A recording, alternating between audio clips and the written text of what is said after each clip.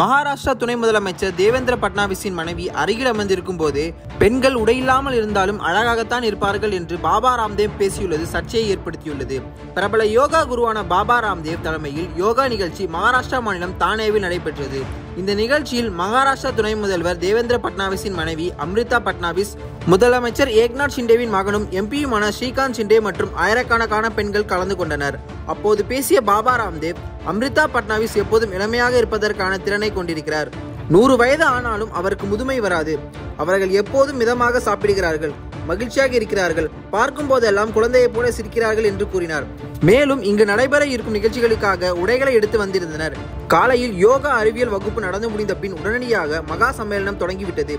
அதனால் அவர்கள் எடுத்து வந்த புடவைகளை உடுத்த அவர்களுக்கு நேரம் கிடைக்கவில்லை. புடவை உடுத்த நேரமில்லை என்றாலும் ஒரு பிரச்சனையும் இல்லை. வீட்டுக்கு சென்று புடவைகளை அணிந்து கொள்ளுங்கள். பெண்கள் புடவையில் இருந்தால் அழகாக இருப்பார்கள். சல்வார் உடை அணிந்தாலும் பார்க்க அழகாக இருப்பார்கள். அவர்கள் உடையே அணியவில்லை என்றாலும் என் கண்களுக்கு அழகாகத்தான் தெரிவார்கள் என்று பேசினார். பாபா ராம்தேவின் இந்த பேச்சு பெண்கள் பலரையே முகம் சுளிக்க வைத்தது. துணை முதல்வரின் மனைவியை அருகில் வைத்துக்கொண்டே ஆயிரக்கணக்கான பெண்கள் முன்னிலையில் பாபா ராம்தேவ் இவ்வாறு பேசியது சர்ச்சையை ஏற்படுத்தியுள்ளது.